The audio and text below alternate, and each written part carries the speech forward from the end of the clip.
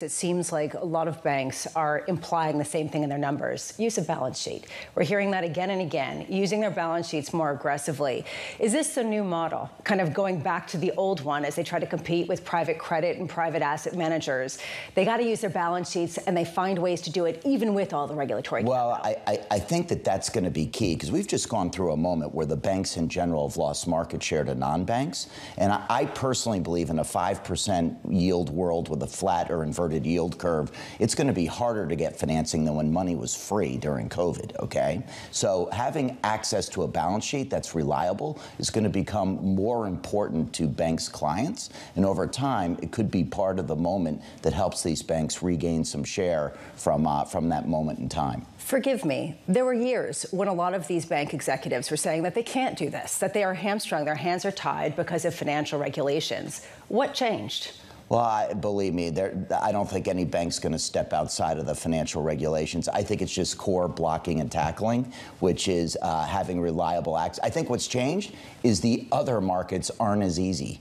So zero interest rates meant that it was very easy for non-banks to be able to raise financing to be able to enter the market. It's going to be harder for non-banks to raise funding to serve bank customers. So I think that's what's changed. Not you, the banks, but I think it's the other items and other conditions. You said you like Goldman Sachs. Sonali was talking about how Ted Pick, his whole business has been um, uh, really the trading and potentially we'll get read through Morgan Stanley tomorrow. What other banks do you like?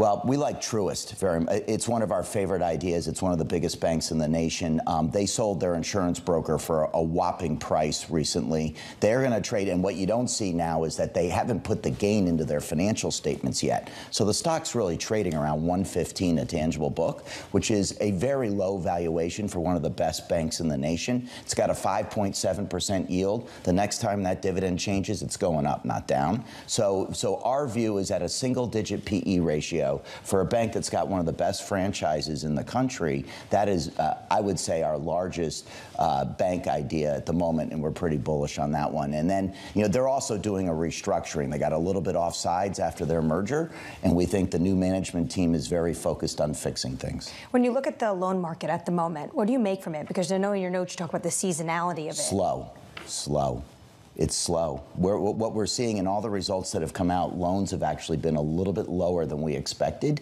And and when I watch, you know, look, we've had three, now four banks report. Our sure. firm files 225. We got a long way to go. But what do I think? I think delay in the pivot. So our bull case on the stocks, and, and, we're market performed, so the bull case, we're, we're pretty balanced. But the bull case is that we're going to get a pivot and acceleration into earnings going into 2025. To the extent that we get less rate cuts, less growth, it probably pushes that back a little bit for when we see an acceleration in earnings.